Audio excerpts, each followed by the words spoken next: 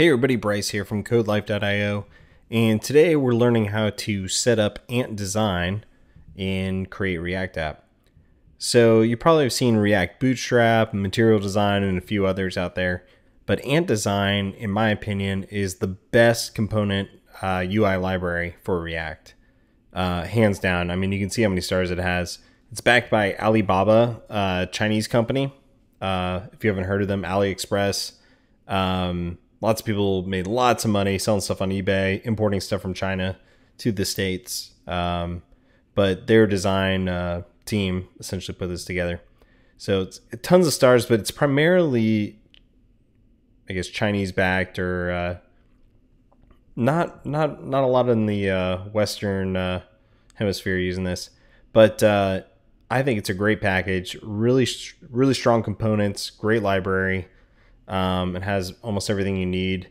Uh, the styling could be a little better, but uh, I'll show you how you can kind of tweak some of those some of those styles.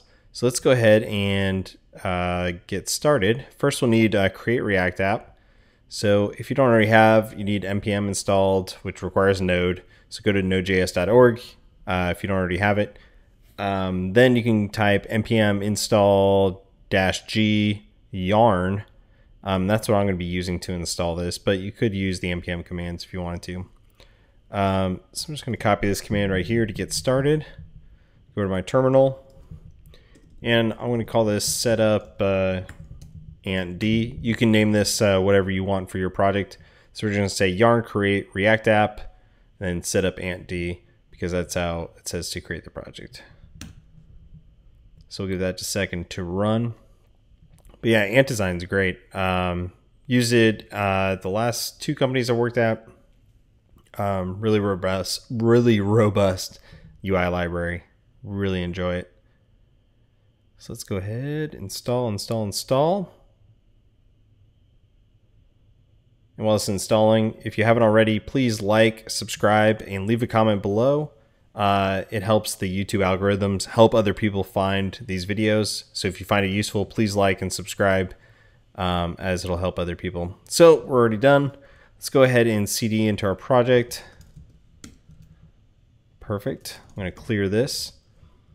Um, and I'm going to type, actually, let's install a couple things first. So now that's installed. If we go back over to ant.design, and by the way, this website here was github.com face slash Facebook slash create react app, but you can just Google it if you're not sure where to go. So this website is ant.design. So click the get started button and you'll see they have a section use and create react app. So we've already followed that part, created our project, seeded into it. Uh, I'm not going to start it just yet because there's a couple things I want to do. So they're just showing you the default directory structure that you have. Um, so we need to add ant d. So I'm just going to copy and paste that in. Let that install. Um, so now here's one part. So they kind of give you baby steps and then undo the baby steps. So you want to skip this part right here. Don't worry about this because what's going to happen is you're going to import button from um, the library, which it's kind of a pain to do that way. You want kind of named exports instead of default exports um, and then you're they have you importing the style sheet in into your app.css. Uh, but we're going to go down to advanced guides because we are advanced. Um, and so what we're going to do is because way create react app is set up, it's basically a package system for you. Um, and what you can do is eject, which then will take you out of the project, um, or basically expose the um, uh, Webpack configuration for you. But then it's really hard to upgrade.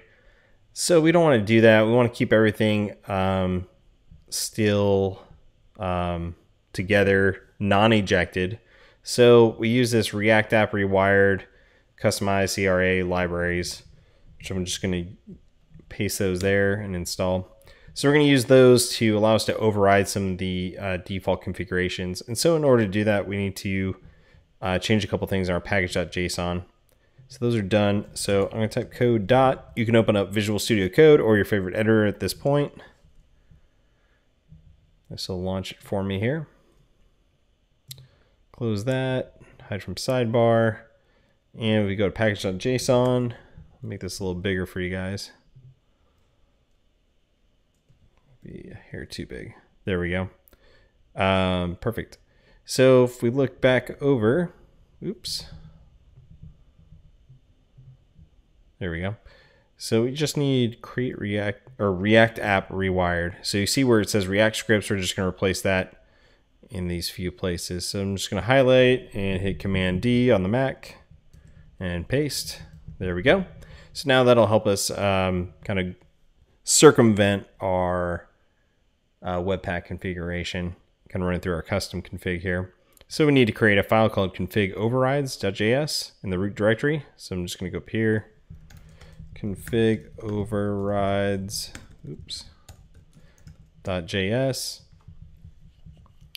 And you can see they're going to have you add some stuff. We're not going to do that just yet um, because they're going to show you to do this. Then they're going to go down here and change it up on you. So we're not going to mess with that just yet. So while we're at it, let's do another yarn add Babel plugin import. So I'll paste that here. That install. Um, you can read about how it all works. Um, but essentially, they're going to give you some stuff to install here. Not that important. Now you can see that some of the steps are telling you to remove the previous steps you did. So I'm going to save you a bunch of time here by kind of jumping down below. Um, I'm not going to worry about that. We actually want this. So what this allows us to do is Ant design uses less. So you probably heard of Sass. Um, less and Sass are um, pre uh, pre-compile CSS, pre-processed um, or post-process, pre-processed CSS. Um, so it allows you to do cool things like add variables and features that aren't normally available in CSS. You can add them in there. Um, so it uses less. So we need to override some of the less stuff. So I'm going to paste that in there. Yarn add less and less loader. So that'll be the Babel loader, which allows to um, override some of those variables. So I think that's about it. So now we just need this in our config here. So I'm going to copy this this line here with the plus sign. That's the one we want. And in our config dash overrides.js, which is in our root directory, paste that in. And I'm just going to grab all this right here. And with the minuses, we need to delete. And anything that has a plus, I'm just going to highlight it and hit Command D a couple times. Save that Perfect. Okay. So what's happening here is it's changing up the imports for us. Um, it's going to maintain styles. And then it's going to allow us to override variables like primary color. So if you were to go into the Ant Design website, um, how do you get there? I think you go through customize theme documentation,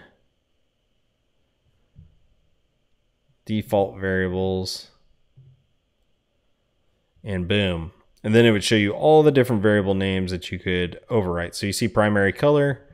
That was one that was kind of given to us right there. So we are able to override that. So we set it to like a green color. Normally the default color is like a blue in uh, Ant Design. So now we have it to a green.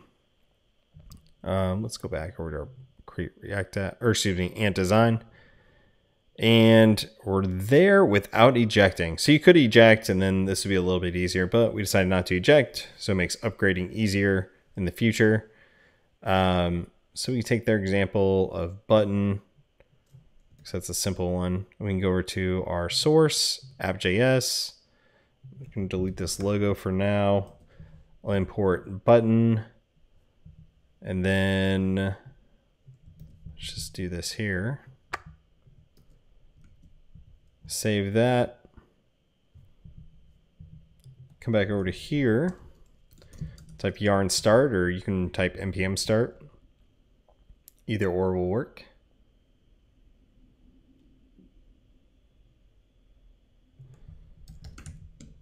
Let's go to localhost 3000 and you can see we have our button there. That looks pretty good. Um, we could change the text here. Test button. Save that and it'll auto reload. So it's a pretty good looking button. It's got some click effects, kind of a material design esque uh, feature. But the real power is the component library in React App. So you can see they have tons of stuff. They have an icon uh, library. Uh, they have their own grid system, um, which I, am going to take care of uh, and show in some future videos. You can grab some quick layouts, which I'll just grab one right now. Uh, let's see, which one do we like? Grab this one. So here's all the things I need to import from Ant.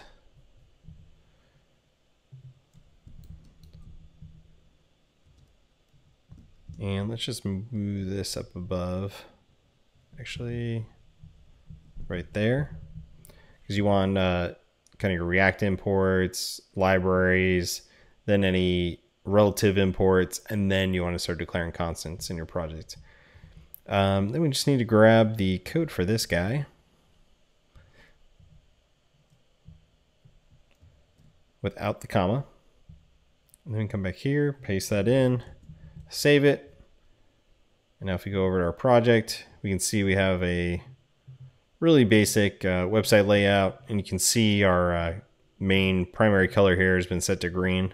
So that's pretty cool for, you know, not a lot of work there. We have some drop down menus and here we could actually start loading in content if we used uh, React Router DOM or anything like that. So that's it for now. Uh, that's how you install and set up Ant Design with Create React App.